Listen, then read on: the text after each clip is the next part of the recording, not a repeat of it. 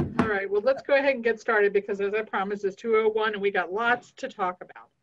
So um, for those of you who don't know me, my name is Kelly Lippincott and I work for ProMedica Senior Care. I help organize the virtual events for our Arden Courts product, which includes the one that we're hosting today.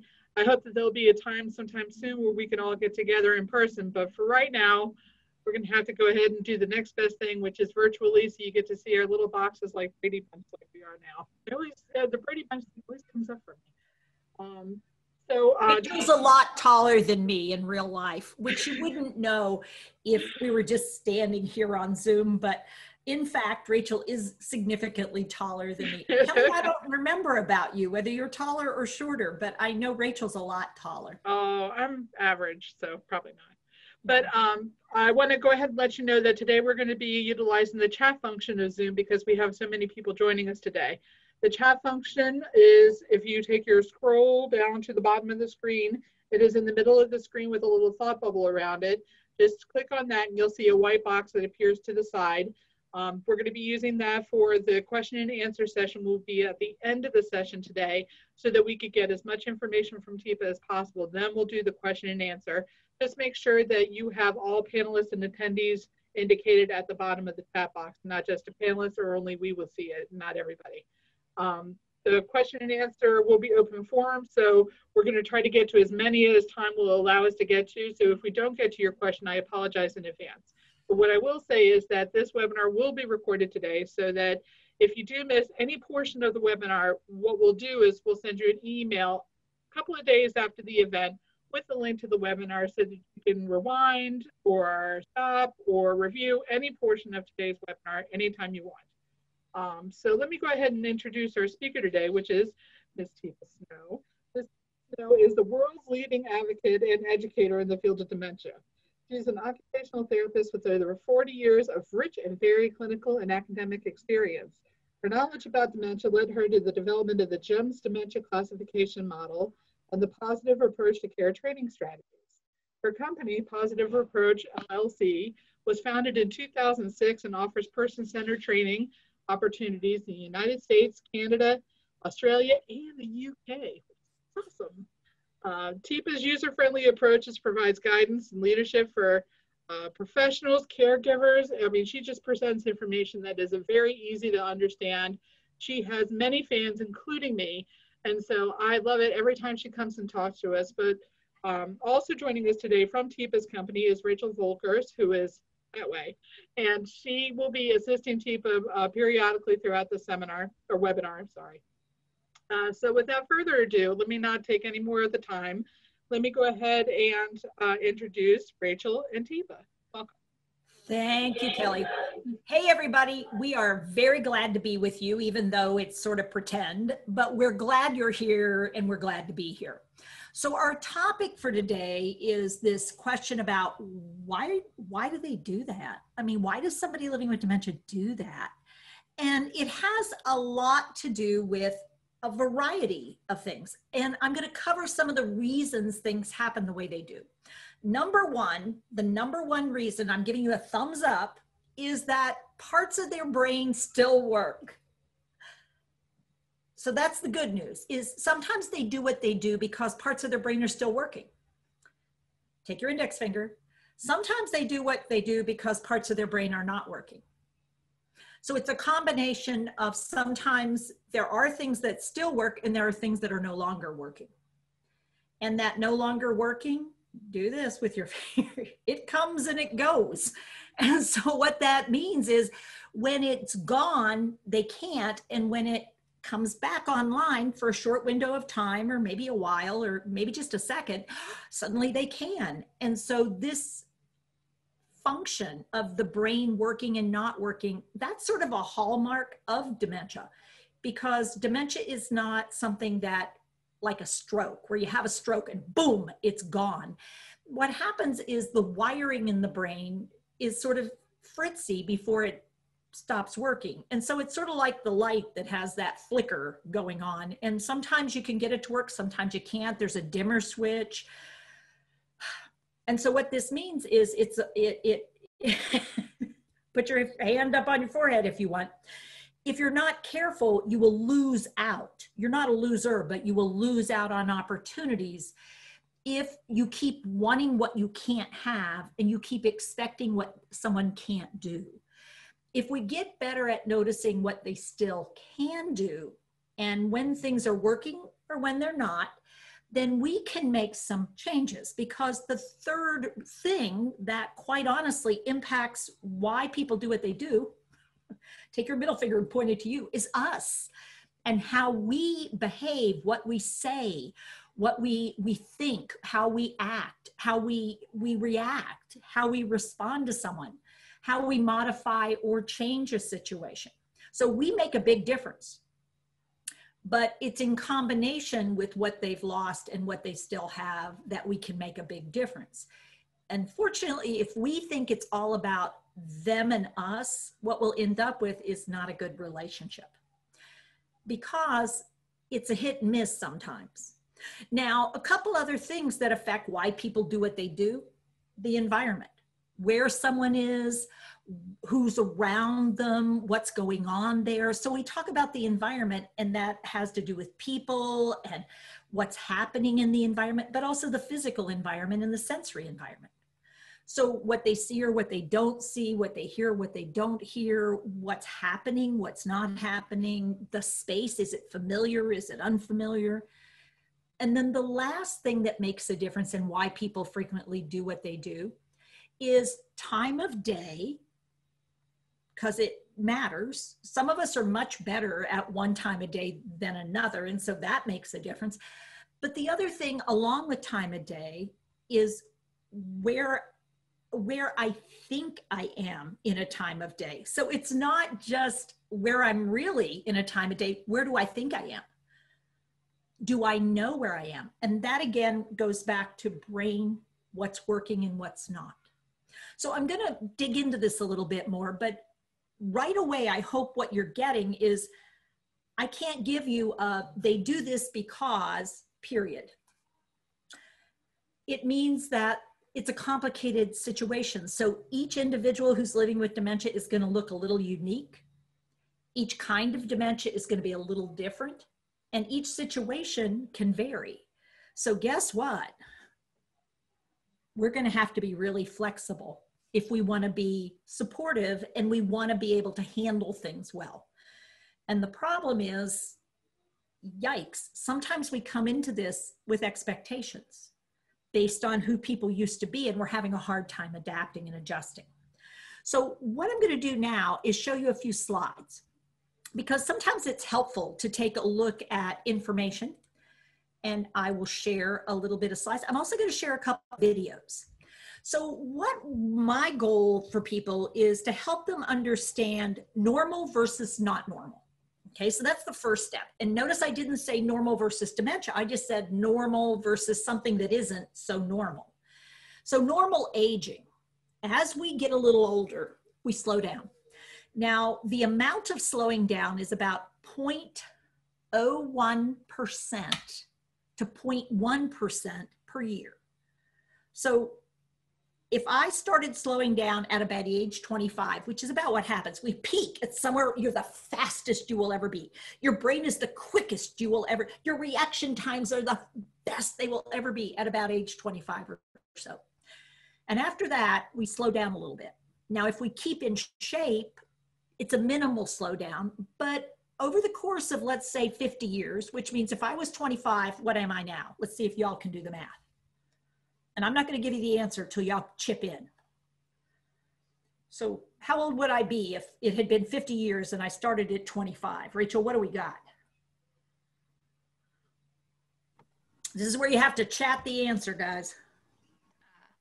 Kay said 70. Oh, we're 75. 75. There you go. Woo, math 101. Good job.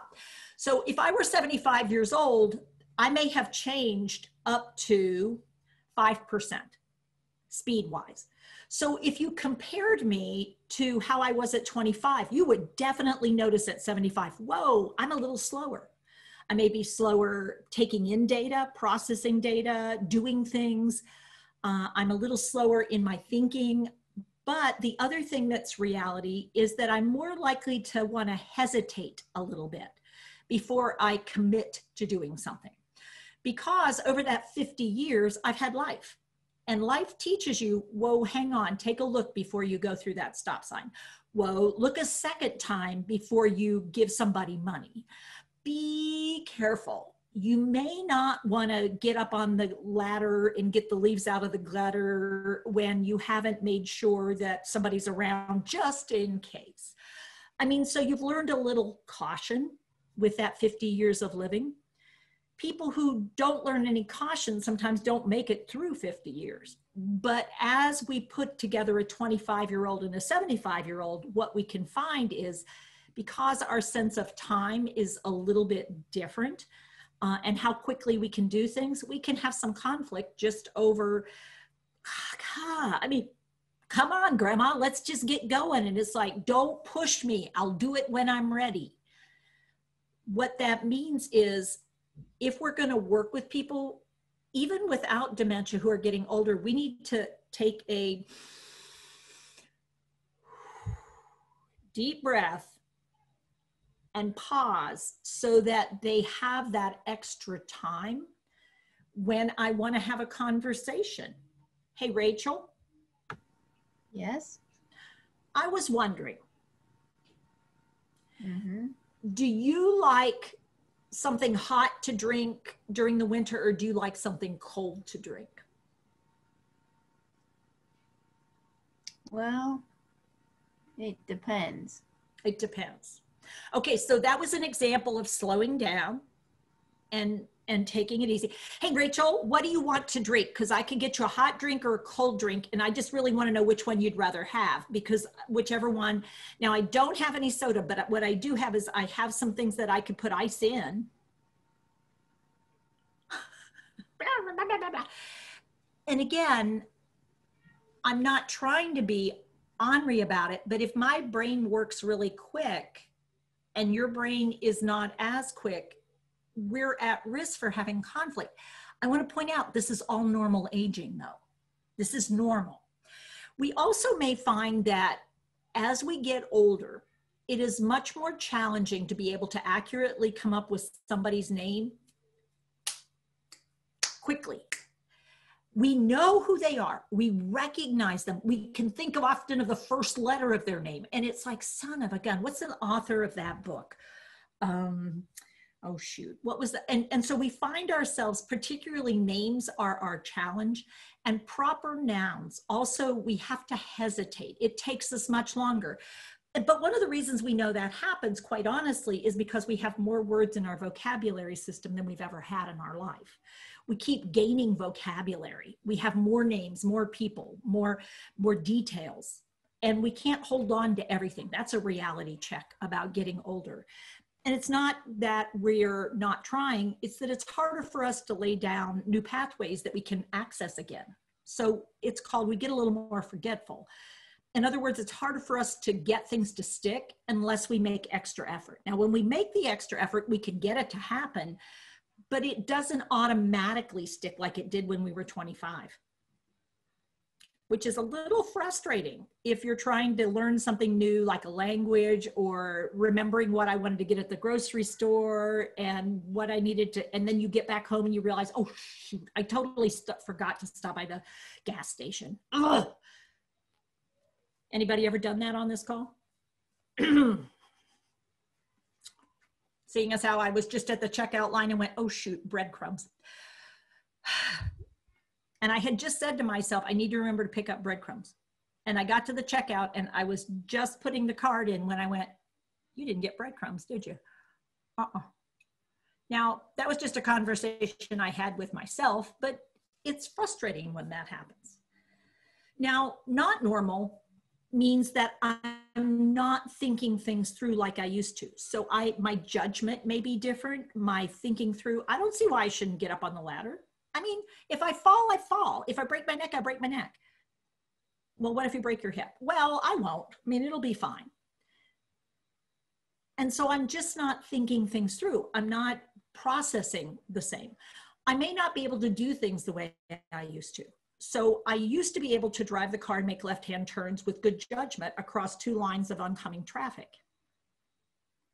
Now I'm either cutting in front of people or I'm sitting there and I can't seem to get myself ready to go because I keep worrying about whether the car's coming too fast. And so I go through three lights and I'm still not turning.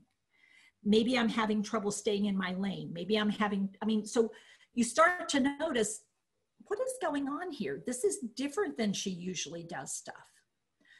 I either can't get going or once I get going on something, I can't seem to let it go. So it's called I either pay too much attention to something or I can't get my brain engaged in something. So that could be that I'm sorting things, sorting, sorting, sorting. And you say, well, come on, let's have dinner. No, I've got to get this done. And it's like, well, you've been working on it for two hours. I know that. Just, and so what you might also notice is what else about me? What else might come up as a not normal aging phenomena? I knew that word. What did you notice besides that I was having a hard time letting go of sorting? Switching gears. We're hearing anger. Yeah, I have a hard time controlling emotion. So my emotions may be on a short leash. And so all of a sudden, boom, and it's like whoa but it may not be anger. It could be um, why didn't you call me? I thought you were going to call me. I got really worried. I thought you'd been in an accident. You're thinking why would you think i was in an accident? Well because you didn't call. Well, i just forgot. Well why do you do this? So in that case what did you notice? It wasn't anger.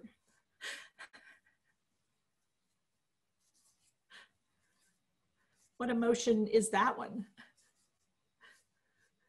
Worry or anxiety? Worry or anxiety. Yeah. So you hear somebody's like, whoa, what is going on there? I mean, she worries about everything. She's bringing up stuff. It's like, that's not even reasonable. The combination of judgment and distress when I can't figure things out, when things don't go the way I anticipate. So we may also have the problem where I look at you and man, I cannot think of where I know you from and yet you are in the very similar place to where I usually see you doing what you usually do there, and I am doing what I usually do there. This isn't the case where somebody from the faith community shows up at work and you're like, huh, I know I know you, but um, what are you doing here? And it takes, I mean, it's my brain is going, whoa, wrong place, wrong person. That's normal that's a little like, whoa, hang on here, let me figure this out.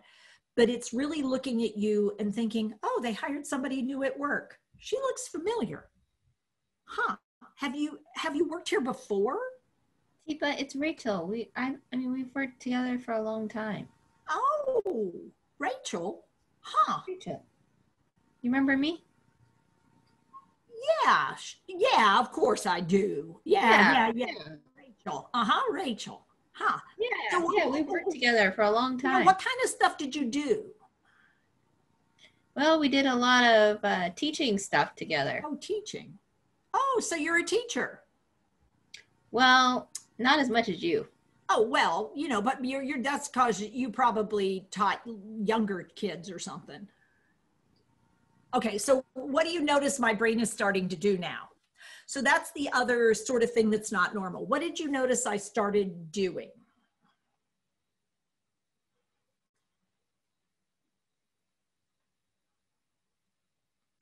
Yeah, filling in the blanks or filling in the gaps. Yeah, and we call that confabulating. My brain fills in the blank information with fake information. It's not accurate, but my brain says, oh, I bet I can explain that. And so some people go, that's, I don't know what you're doing here. I don't even know who you are. And they become very standoffish. But other people will go, oh, yeah. And their brain says, oh, yeah, she must be somebody you know. But what I'm saying, your brain goes, that doesn't really make sense. What is she talking about, younger people? We used to do role play on webinars. And my brain is not able to take in and accurately get to the right data. So the other, um, situ, not, it start, a figment, not figment. The other um, situation, well, the other situation that happens is when I go to find the whatchamacallit, the things that you say, you know what I'm talking about, the things you say, I can't find the one that it is. And so I, I I sort of have to do another, you know, another thing. And then it's sort of it's so it's not that bad at first, except every except when then I get um either just shut up. I get angry or I get anxious. Then I can't find words. And you'll notice that woo I can get loud, but I'm not necessarily making a lot of sense. And the other not normal thing is I start get turning getting turned around about time. Um, well, that just well, I just I just took a shower. I just had one. I think I must have dandruff. And in fact, you say, no, it's been like at least three weeks, I think, since you had a shower. No, I just took one.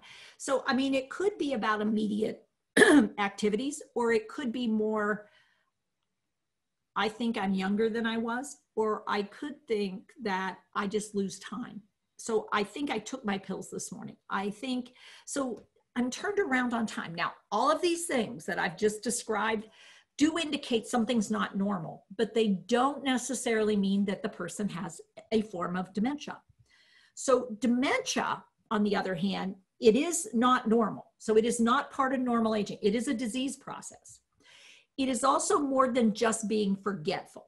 Being forgetful is normal. Having dementia, that is not normal. Eventually, if you do develop a dementia, you will not be able to be independent um, no matter how hard you try, you will not be able to live independently. Eventually, dementia will change pretty much your entire brain in some form or fashion, in some way, and it spreads through the brain.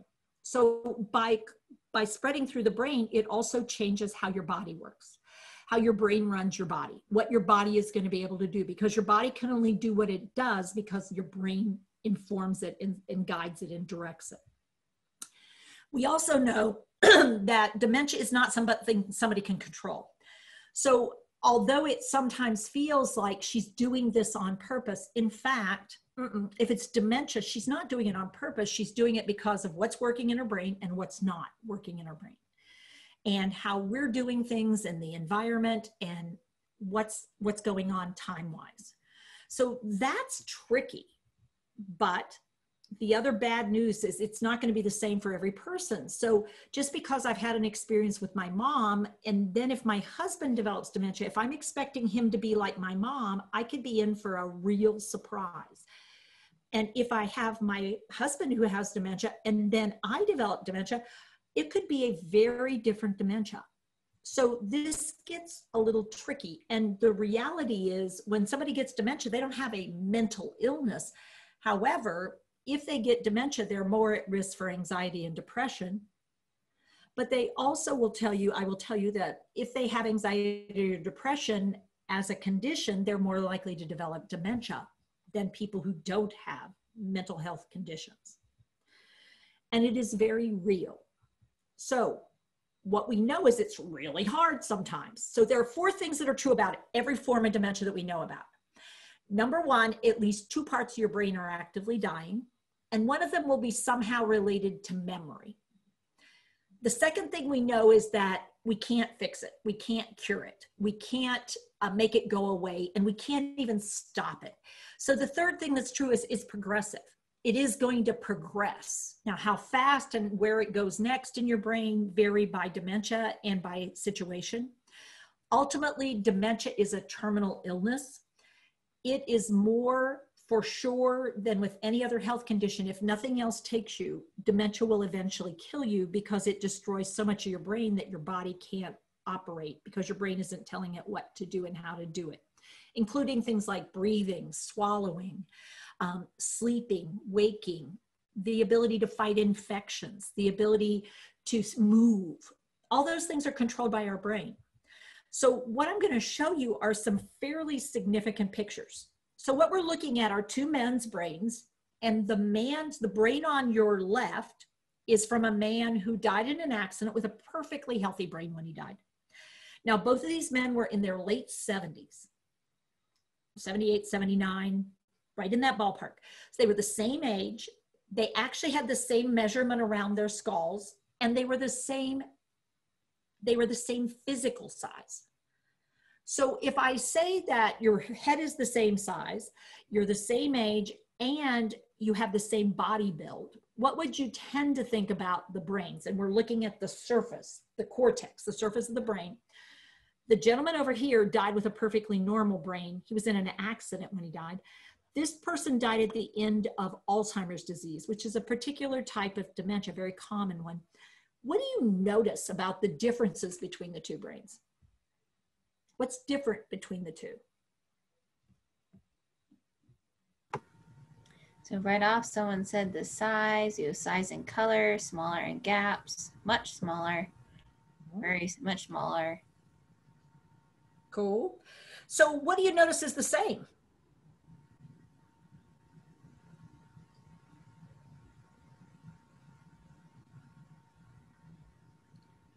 Ah, Susan said the shape. Ah, so the structures are still there, but they don't look as healthy. They look sort of shriveled up, and you're absolutely accurate. So, what if I were to tell you that the brain over on the right hand side is only one third the size as the one over on the left? How many of you would go, well, it's not that much smaller? How many of you are surprised that it's only one third the size, given what you can see? I mean, it definitely looks smaller, but it's one third the original size by the time people die. Getting quite a few surprises and uh, wows.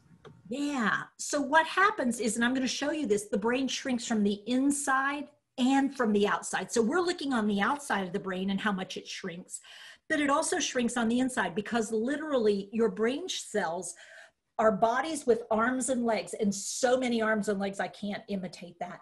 But what happens is when they develop dementia they start shriveling up shrinking up and dying.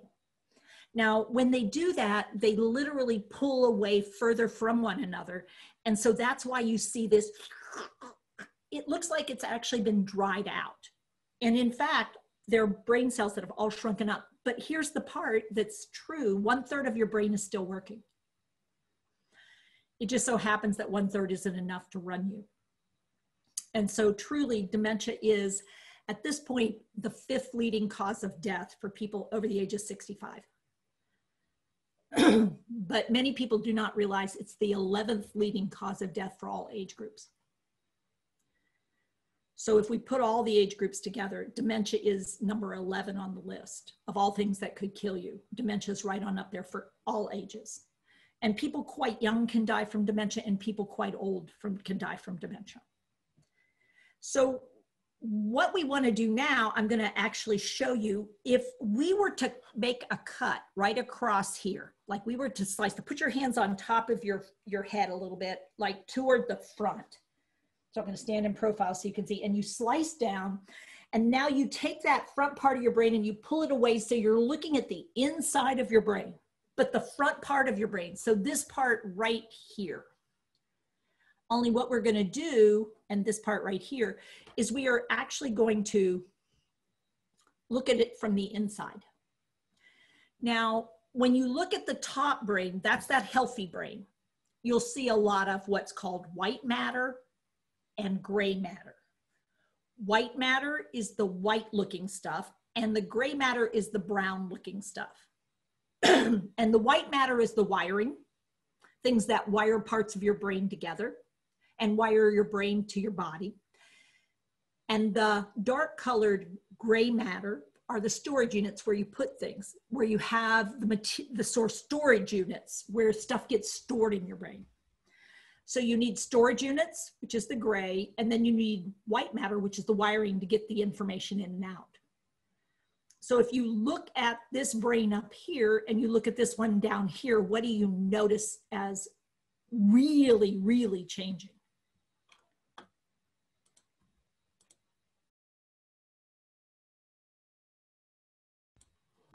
We have no more wiring. We have far less white matter little to no white matter. Yeah. So if you don't have any wiring, does it matter what you have in storage? You're not going to be able to get to it. But if you have a little bit of wiring, guess what can happen sometimes? I can get to the storage unit, but I may not be able to get something out.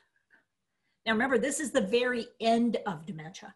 So on average, it's going to take 10 to 12 years to go from that fully functional, all that white matter, down to this is all that's left.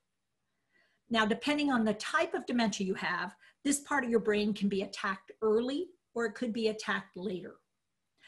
This part of your brain, called the prefrontal cortex or the executive control center, has six jobs.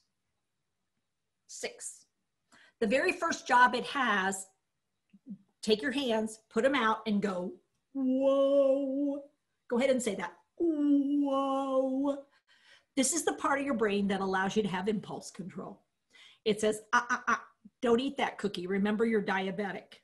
Mm-mm, don't say that. That's mean. Teepa, that's a yellow light. Pause.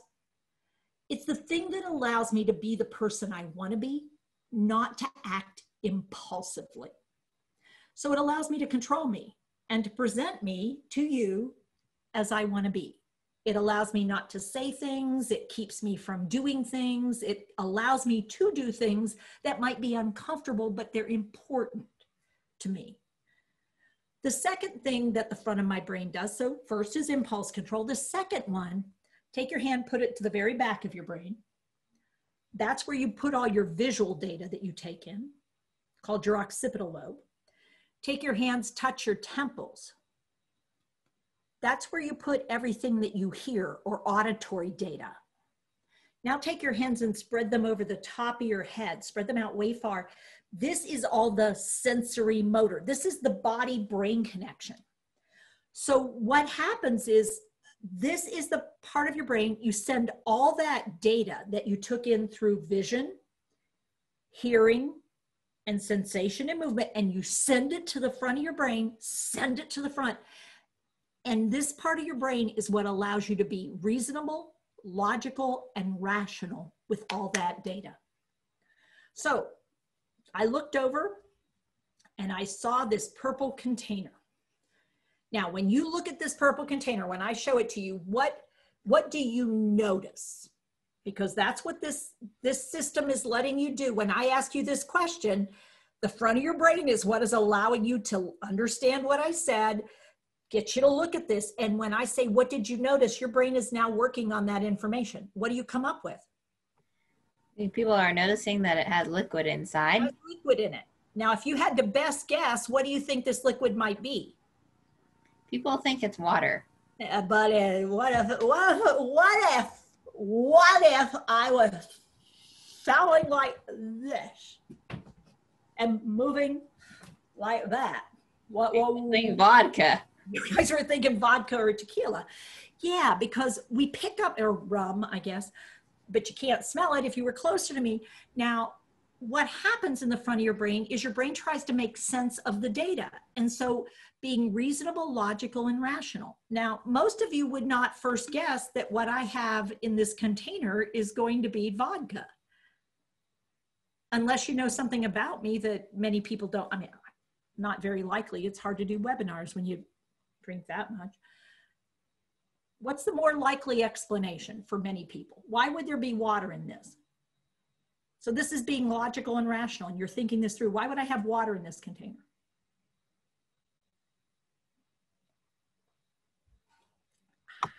So Laura said to drink from. Someone else said dry throat. The way you are talking, you get thirsty. It helps your vocal cords hydrate. Why did I have it here versus somewhere else? for this hour? Someone said maybe you're working out or you're trying to get your liquid in. Oh, so I might have a plan for that. Yeah. So this is why you all are using those prefrontal cortexes. Nice work. Third thing that the prefrontal cortex does for you. So the first one was whoa, control impulses. The second one was be logical and reasonable and think things through, reach a conclusion that makes sense. The third one, make choices.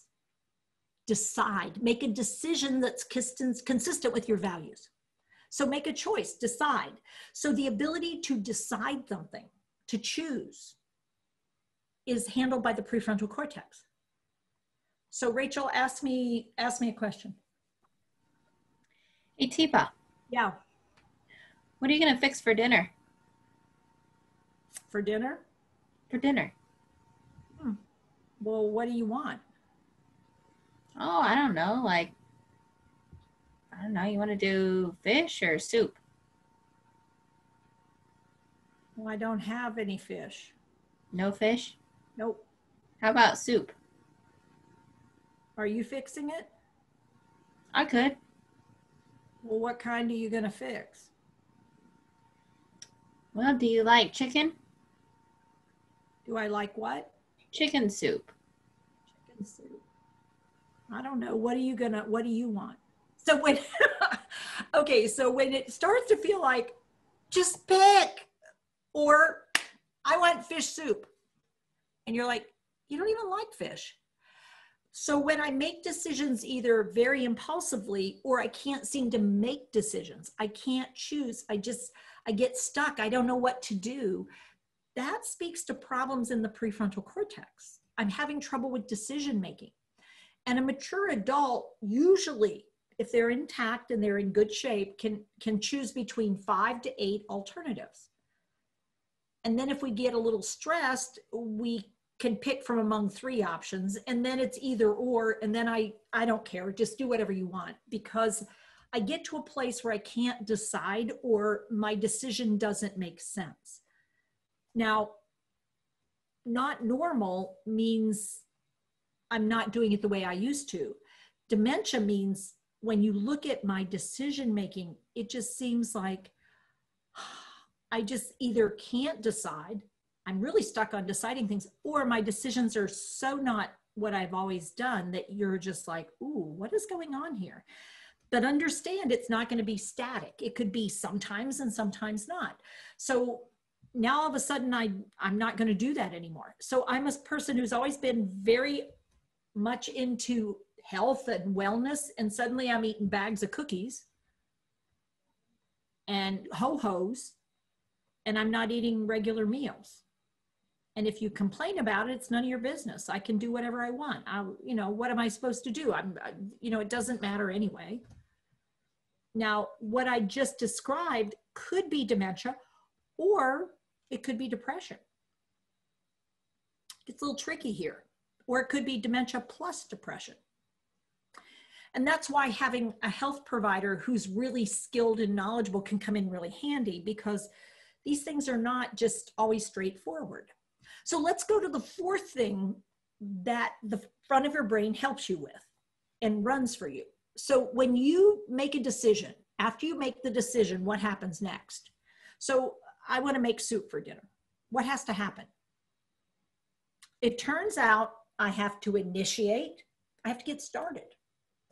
I have to sequence. I have to do the steps that need to be done so that I finish. We have soup. And then when I finish fixing the soup, I move on to the next activity, which is set the table. I initiate setting the table. I get the soup on the table and then I finish that and I say, let's go eat dinner and I invite everybody to eat. And, and so we go from activity to activity and every one of them involves initiation, sequencing, finishing, and then moving on to the next thing. Get started, do it right, finish it off, and move on. So if I'm starting to notice that somebody either doesn't initiate, they're just not doing anything. They're sitting in the chair. They say they're going to do something, but nothing happens. They say they're going to get up. They don't get up. They say they're going to take a shower. They don't take a shower. They say they're going to change their clothes. They say they're going to go and do something with the advanced directives. They say they're going to do it and they don't do it. That signifies I've got something going on in the prefrontal. Or when I go to do something, I'm not doing it right. So rather than adding sugar, I'm adding salt. Rather than doing all the steps in baking the cake, I never turn the oven on. I turn the oven on and I forget to turn it off at the end. I put soup in the pot, I put it on, and then I walk away to go take a phone call because I never finished that sequence before I went to something else. So this initiate, sequence, terminate, and then transition, go on to something else, is one of the areas that frequently we'll notice, wow, what is going on here? She is making, what is she doing? That's where we might notice some early signs of something not right. But if you point it out by pointing out the flaws, what you'll end up often with is an argument or a sense of distress rather than being curious, huh? So she went to make soup and she never put anything in the pot and the pot burned. And what I also noticed is when that happened, she didn't worry about it. So there's a judgment problem in addition. And she got really angry when I said something about it. it's like, wow, what is going on here? It's a combination. But if we look at the prefrontal cortex, realizing, wow, this is an area that's the last part of your brain to develop. Children don't have a very active prefrontal cortex. They won't get that until their teenage years and even young adulthood is when we develop that. And males are a little slower to develop in that area than females. It's true. I'm just saying, don't get upset. It's just real. They get there, it's just slower. Well, some people never fully develop their prefrontal cortexes. Some of them you know. So, fifth skill in the prefrontal cortex, and this one is actually really important, and it's actually in a small part of your brain. It's a very small section of brain. Look at yourself in the mirror. Like imagine you're looking at yourself in the mirror and admire yourself. Talent and skill. I'm good at some things. And it's good you think that because you should be. It's good. But then look at yourself and go, yeah, some things I'm not so good at. Yeah, mostly we base it on what's happened in our past. So things we've had bef- happen before, we, we have a sense of whether I'm good at something or not. But now what I want you to do is look at yourself and look at yourself in this situation where you are right now. And you have to decide, do, am I good at this or do I need help? Do I think I can handle this or do I think I'm going to need assistance? And it's called self-awareness and how accurate I am. And it turns out that about half of everybody who gets dementia is not accurate in self awareness. They think they're fine when they actually need assistance, and they think they need assistance when they're fine. Please, I've got to have help. Teepa, you can do this. No, I can't. I'm going to fall. So it could go either way. Either I think I need help when I don't, or I think I don't need help when I actually do need help. And the term when you're inaccurate is called anosognosia, the inability to be self aware. And it's one of the hallmarks for about half of everybody who gets dementia. They tend to underestimate or overestimate. And it makes it hard to provide the right support because they're not seeing things at all the way we're seeing. And it's not denial, it's actually brain failure. Now, 50% of people do have awareness but that awareness can be really scary and it can be really um, distressing. And so, what we might see is even though I have awareness, I may not want you involved. I may not want it shared. I may not want other people to know it. Or I may have awareness and I'm really aware, um, but people could take advantage of that. So, this isn't like either way is better. It's just important to understand. Notice whether somebody seems to have self awareness or whether they don't, because we want to modify how we help based on what they can do. Now, the last skill in the prefrontal cortex is the ability to see another person's point of view and figure out how to support them and get their point of view and understand why they're doing it and be able to work with them. So, unfortunately, for many people, that's one of the first skills that can get lost with this. So, if we look at this part of the brain and you think about those six things impulse control, being logical and reasonable, being able to make good choices and decisions based on values, being able to get started, do something the way you know you to do it, finish it off, and then move on and do something. I mean, just being able to get through life. And then being accurate in your self awareness I need help or I'm good to go. And then being able to see other people's points of view how many situations do we run across, do you think, where those changes in brain function are causing a lot of frustration on both people's parts? Because what I expect to have happen to a mature, for a mature adult, you're just Mom, that doesn't make any sense. Rachel, what are you talking about? I mean, we get real flustered, and yet all it is is a symptom of the disease. So I'm going to pause there for a second to see if anybody has any specific questions. Now, this is the front part of the brain. And unfortunately, most dementias have trouble with the prefrontal cortex fairly early in the disease, but it comes and it goes. It happens and then it doesn't. So I'll pause there just to see if anybody has any specific questions on that one. Yeah, but we did have one. Uh, somebody asked, "Do you still respect the person by asking, or you do you just do it for them when you ask them? They just say, "I don't know, whatever you want is okay. I don't care." Yeah. So if I say, "Hey, Rachel, would you rather have something hot or cold to drink?" And you whatever, say, whatever. How about if we try something hot, and you can let me know what you think of it after you try it? Let's okay, fine. Come on. So, are you liking the hot, or would you rather have something cold? It's fine. It's fine. Okay. Cheers. So, in that case, when the person really is struggling to make decisions, what I'll do is I often present the options and say, How about we try this?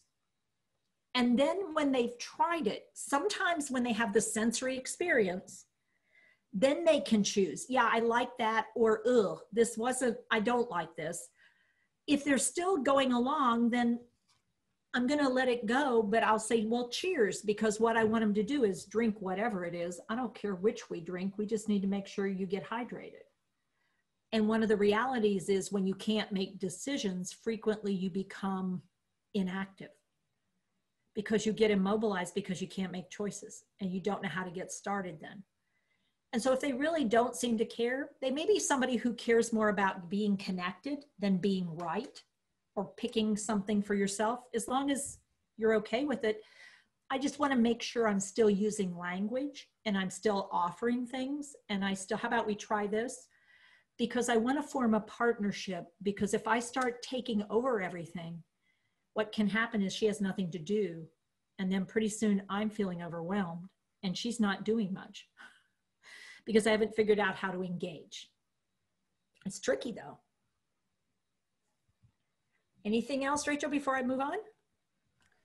Um, there are lots of other things, but I think maybe you should go on.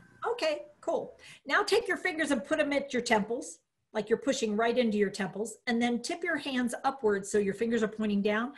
Now I'm going to tell you if you were to take your right finger, just your right, not your left, just your right, and you were to shove in about an inch, I don't want you doing that, but if you'd shove in about an inch, you would hit this area in the human brain. So your finger would be right outside here. This is your left, this is your right temporal lobe.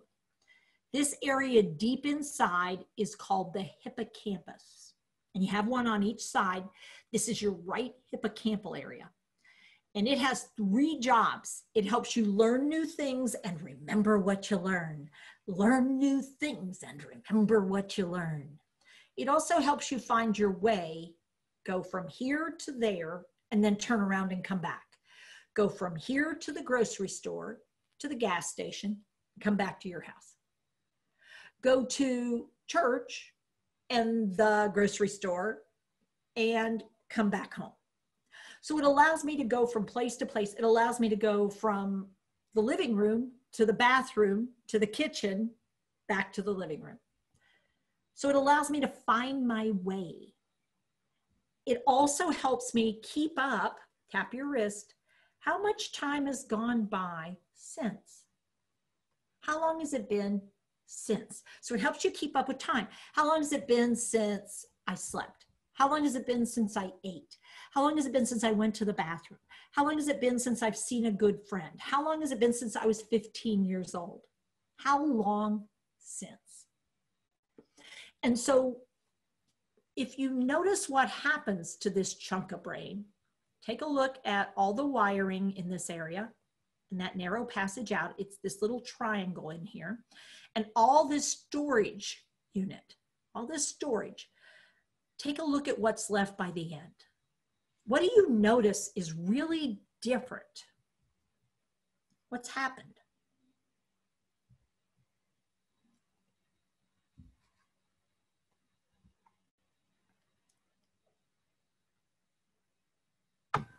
He said flattened in a big hole, mm-hmm. disconnected, very little connectivity. It's mm-hmm. gone. Looks Yeah, completely deteriorated. Yeah, look at all that wiring. Oh my heavens, look at this massive amount of wiring. And if you notice, it's about this trunk of brain now is only one third the size it was originally was. This is the what's called a ventricle. This is the little bit of space where you have fluid in your brain that cleans your brain. Look at how big that hole has gotten. And this thing that we're calling, we're looking at is called atrophy. So it's your brain being destroyed by a form of dementia. So Rachel, what are, what are we going to have?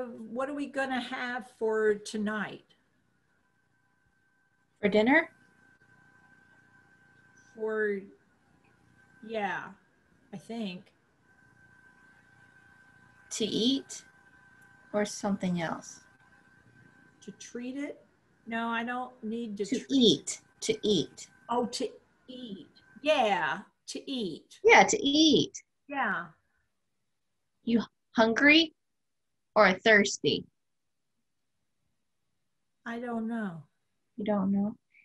Hey, Teepa, Yeah. drink? Oh. Oh, oh, a what? Drink? Drink? Yeah. Okay. Oh, uh, drink. Right down. Look, look, look down. Yeah. You see purple? Purple. Purple. Yeah. Yeah. Pick it up. Pick it- pick it up. Here. There you go. Cheers. Cheers. Do you do, do I drink it? Drink it. Yeah. Okay. Now I'm going to pause because I was I was simulating someone who's pretty far along in dementia or has a particular type of dementia that robs you of the ability to connect information. So what did you notice Rachel did to support me? Because part of how I live will now depend on Rachel. I can't be independent anymore. I can't remember things. I don't learn new things well, but I know whether or not I like Rachel.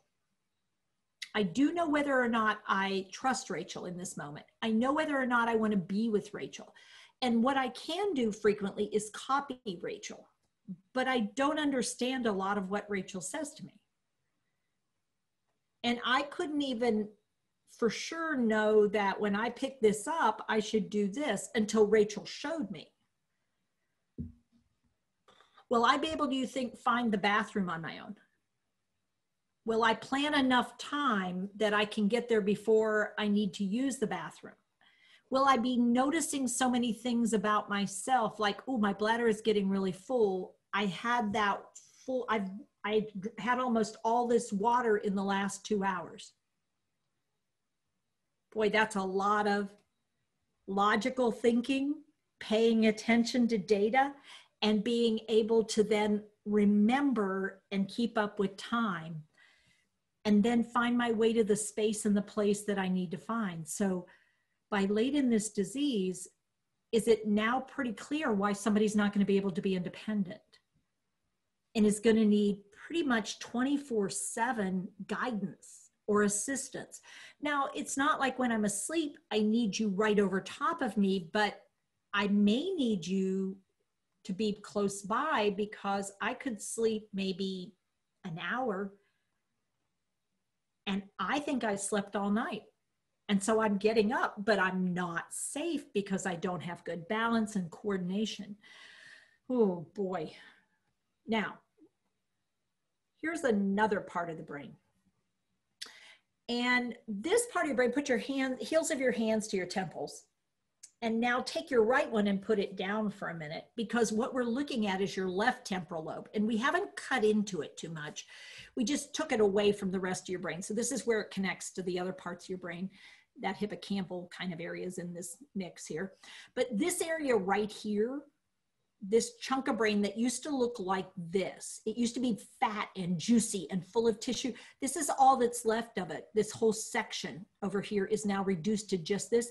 This is where you have vocabulary, the words, comprehension, ability to understand the words, and speech production, the ability to say the words. So, vocabulary, words, comprehension, ability to get the words and understand them, and then the ability to say the words, produce them. And this is how much of your brain was devoted to that. And this is how much you have left at the end of, of just about every dementia that there is. So I'm going to pause there for a second and I'm wondering what you're thinking as you look at the change in language capacity.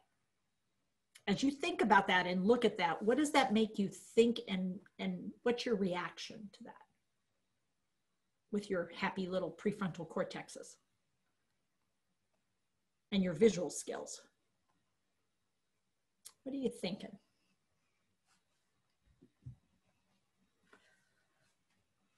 So somebody asked when the person died, could they speak at all? Mm. It's interesting because there's a little tiny bit of tissue left. Occasionally, some people can. Sometimes it's only a word, sometimes it might be a whole sentence. Interestingly enough, there are sustained skills, which I'm going to show you in a second. Any other feedback for us? So if not, I'm going to show you this part of the brain. These are still in the temporal lobes. This is the, the left temporal lobe. This chunk of tissue up here, what do you notice about it? This is sort of interesting. This is the one part of the brain that we don't see a lot of destruction of brain tissue. What do you notice about it? Look at the size of it over here and then look at the size of it over here. What's interesting?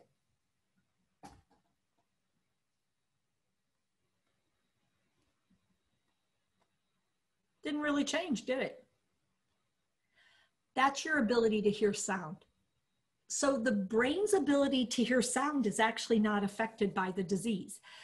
The wiring across the middle of the brain is affected. So I can't tell where the sound is coming from. And I don't know what the sound means, but I still hear as well as I ever heard.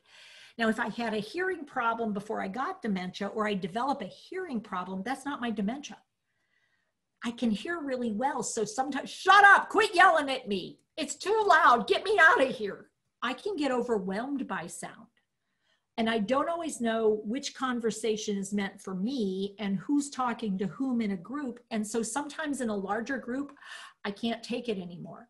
Sometimes when the environment gets sort of busy, I get overwhelmed. Sometimes I misunderstand and think the TV is, is a conversation I'm supposed to be having with someone.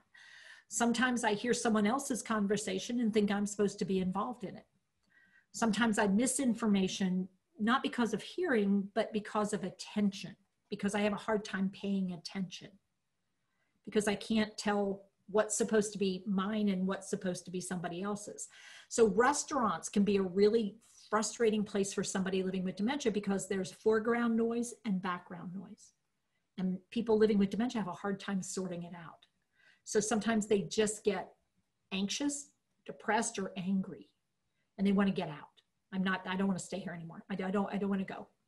Or they can really enjoy it, but they don't spend much time eating because they're socializing, because it's taking everything they have to be social. So now what we're going to do is take a cut from top to bottom, slice right down through, top to bottom.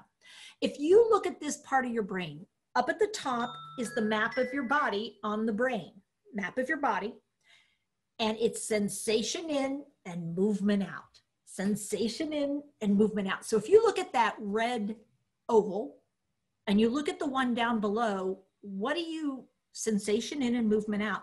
What does that tell you about the person's ability to move and know what's going on all over their body? From the very beginning, when they don't have dementia, to the very end, when they have a lot of dementia. What does that tell you when you look at the brain and you're starting to understand white matter and gray matter? What are you thinking? Jennifer just said, wow, it's like nothing is left of the lower one. yeah. So if you look at the little ventricles, look at how huge they are. Remember when I said your brain is down to one third its original size?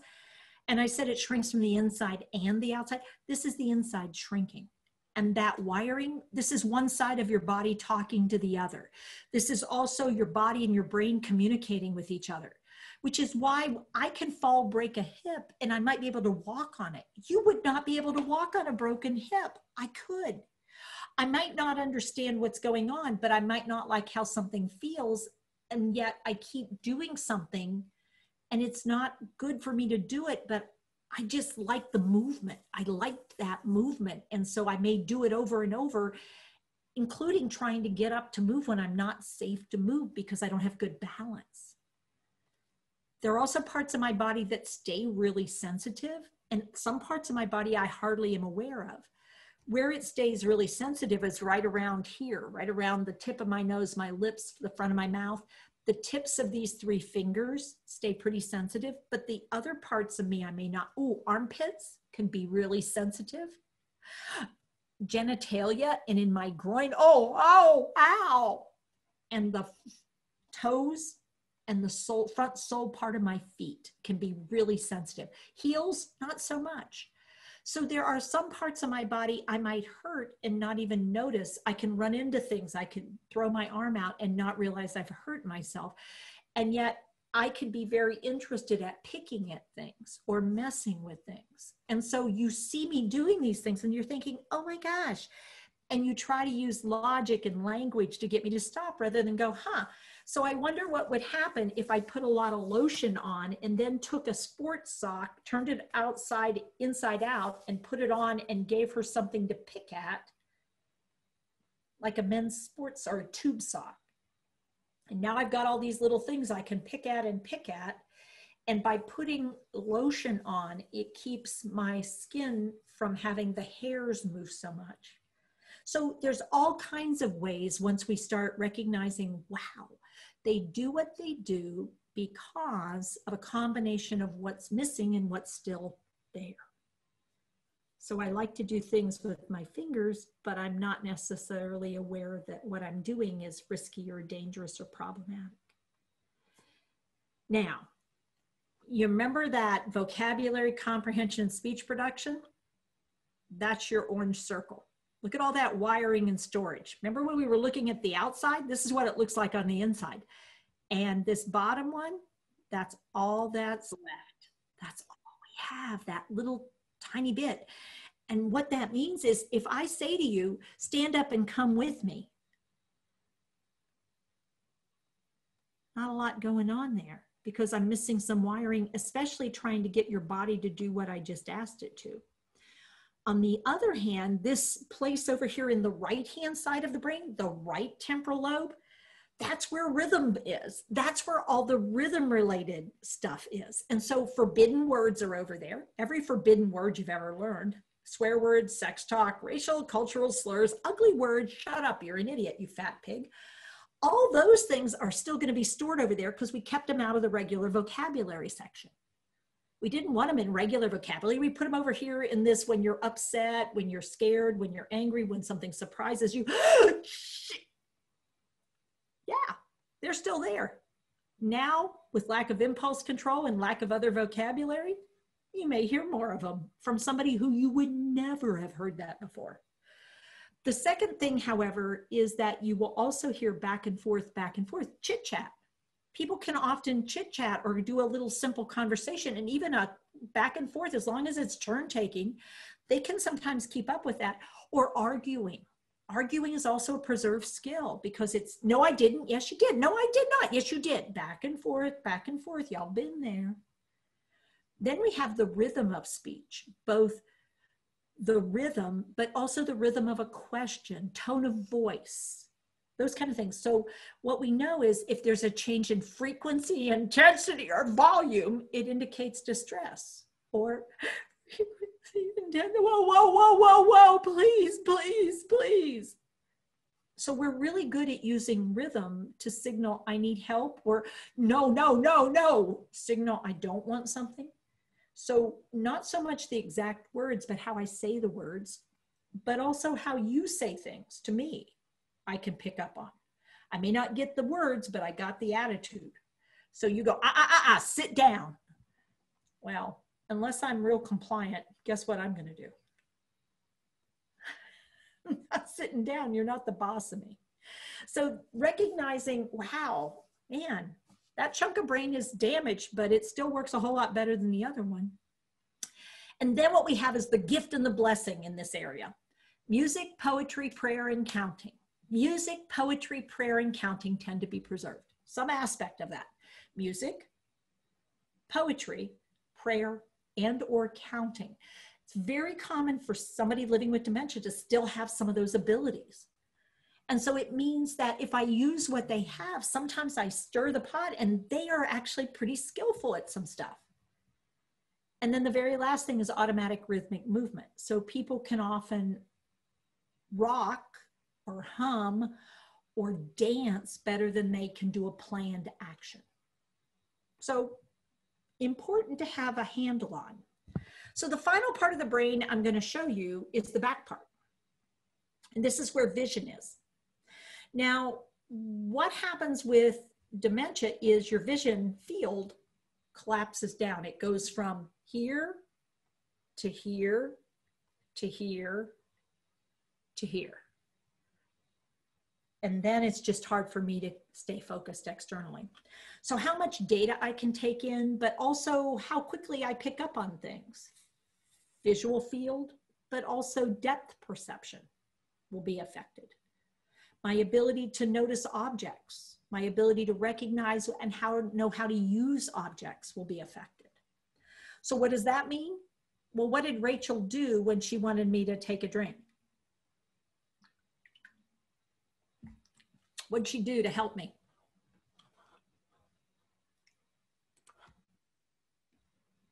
She showed me, she demonstrated. She might also do some things where she might actually use her hand with my hand if we were together. So I'm going to pause here because we are, believe it or not, we're almost out of time. And I could spend more time, we could talk some more because there's more to learn about dementia for sure. But why do they do what they do? Well, because their brains are dying. Why do they do what they do? Well, because some parts of the brain still work. Why do they do what they do? Well, because what we do makes a difference. And sometimes we want to change the environment, and sometimes we need to think about how we're spending time. And sometimes we need to be flexible because sometimes it works and sometimes it doesn't. So we're going to open it up for some questions because we have a few minutes that we have for questions. So I'm going to turn it over for just a second here to Kelly to see so she can field some of these questions. Yep. Um, one of them is why does my loved one regularly do the opposite? I asked to pick up a foot and he presses hard into the ground or let go of this and he holds it tighter. Yeah. So, one of the things that can happen is if I say, what I want you to do is let go of something, and I try to take it away, what I've just done is I've double messaged you because I said let go, but what I when I gave it a little pull, movement in your hand stimulates what's called a grasp reflex. So if I do anything to try to get him to, and I'm touching it, what I'm saying is this is a really good thing. And the person is going, yeah, and it's mine. so if you instead go, hey, Rachel, here you go. And I offer her something else when she has something in her hand and notice my hand is down that she could lay her thing down and I'm going to give her this.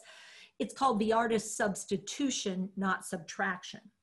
So we also want to think about if they, I say, pick up your foot and they're pushing down, I automatically, because of my background, I automatically start thinking Lewy body disease because Lewy body has a has a feature where when I want to do something with my body, opposite is what actually happens.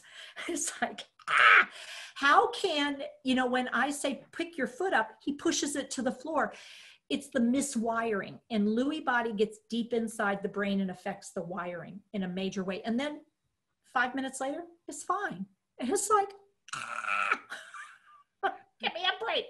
Do you have any suggestions for her? She says it's the same person who has trouble with undressing. Yeah. So, one of the things to think about doing is breaking it down into small pieces. And rather than making so many verbal requests, sort of going, here you go, and show him a new shirt, but not within hand's reach, and then say, right here. And I will say that fine motor dexterity is one of the first skills, bilateral is one of the hardest things for people with Lewy body often to be able to do, particularly on themselves where they can't actually see well what they're doing.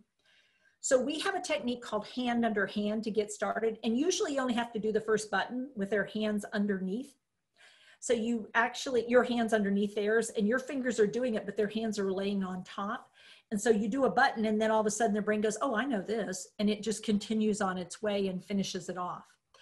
But you may want to think about uh, getting up with us. We do have some videos that we have of how to support people, particularly with Lewy body, because it is a unique dementia, the least. Uh, my mother has become paranoid and thinks her caregivers and I are stealing her money, her purse. She also hides things, including the remote and other items. Is this typical? Yeah, because what happens is I'm afraid people will take stuff. So, what do I do when I'm afraid people will take stuff? I hide stuff. Why do I hide stuff? Because I want people to take stuff. What do I forget? Where I hid it. So when I can't find the thing I was looking for, guess what happened? Somebody hid it. It wasn't me because I would remember if I hid it, I didn't, somebody came in here and took it. So what we want to start thinking about is a couple of things. Number one, do we need a monitoring system so we can observe where she might put it? But when I do go to looking for it, I say, oh, so your remote is missing. Well, that's not good. So, oh, you're afraid one of us took your, ah, so one, somebody came in and took your purse. That's not all right. That shouldn't be happening. Oh, tell you what, before we call the police, I'm wondering if I should look around and see if maybe somebody put it up. Maybe they hid it somewhere. Can I can I take a look real quick before we make a call? Because I don't want to make a call and then find out it was actually hidden away somewhere. Well, you could look, but I don't think you're going to find it. So, what we want to be responsible for is thinking, hmm, immediate recall problems, fear of others taking things. This is a person who wants to be in control, needs to be in control, is fearing loss of control, and can't keep up with what just happened and what's happened recently. So that's someone that more important than ever that we start to establish a sense of she needs to be in control.